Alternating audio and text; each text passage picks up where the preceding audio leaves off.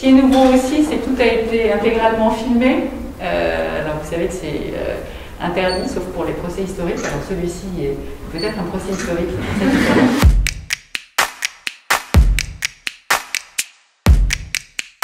L'association Les Amis du Triton et l'association Chiroptères sans frontières, représentées par Maître de Granger, demandent le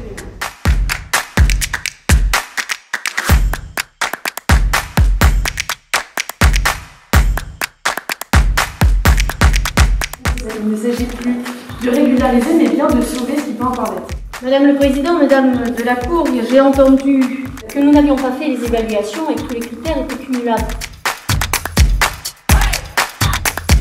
Merci. La terre est mise en délibéré. Le bien s'est levé. Moi, je trouve que tu t'en es très bien sorti en tout cas. Prunel aussi. Enfin, on a vraiment fait un effort de.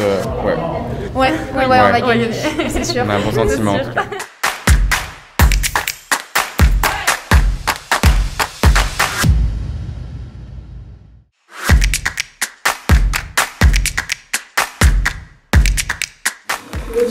asseoir.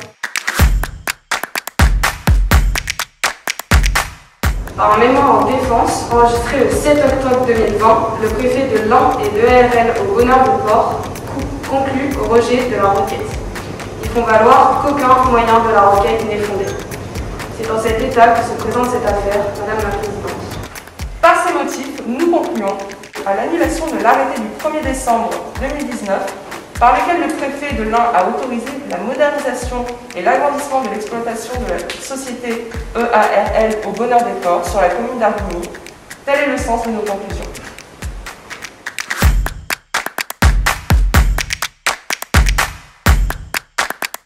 où les étudiants jouent le rôle en fait, des avocats, demandeurs et défenseurs et après aussi les, les rôles de juges et vont mettre en pratique ce qu'ils ont, ce qu'ils ont appris. En tout cas, j'espère que ça vous a donné le, le goût de ce que peut être un, un débat, un débat contentieux, hein, où il y a un vrai euh, litige qui est à résoudre avec un, un échange d'arguments.